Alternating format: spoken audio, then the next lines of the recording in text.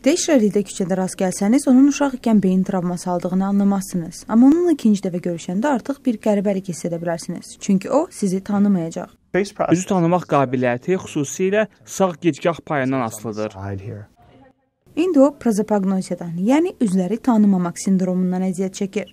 Milli Elm Fondunun dəstəyi ilə psixoloq Brad Duchesne və onun Dartmouth College-dakı həmkarları insanların üzləri necə tanıyıb proses etdiyini araşdırır. Mən əsasən normal beynin quruluşunu anlamağa çalışıram. Biz travma alan beyinlərdən istifadə edərək normal beynin fəaliyyəti ilə bağlı məlumat əldə edə bilərik. Prozapagnoziya ilə bağlı ilk məlumat 150 il öncə çıxsa da, bu xəstəlik çox nadir rast gəlinir və xəstəlik tam başa düşülmür.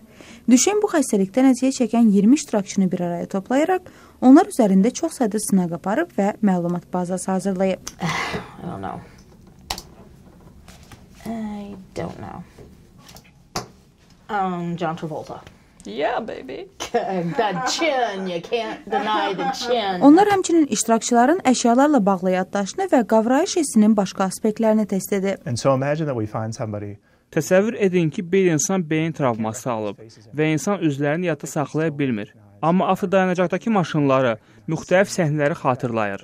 Bu onu göstərir ki, üzlər beyindəki fərqli mexanizmlər vasitəsilə proses olunur. Tədqiqatçılar MRT-dən istifadə edərək beyin quruluşunu yoxlayır və funksional MRT vasitəsilə pasientlərin üzlərə baxdıqları və ya səhnələri izlədikləri zaman beyin fəaliyyətini sınaqdan keçirir.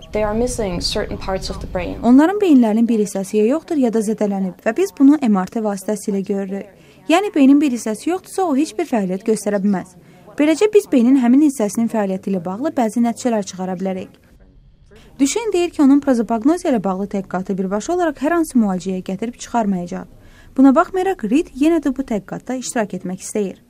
Onun yardımı ilə tədqiqatçılar bizim dünyanı və ətrafımızdakı insanları necə tanıdığımıza dair daha ətraflı məlumatlar əldə edə bilər.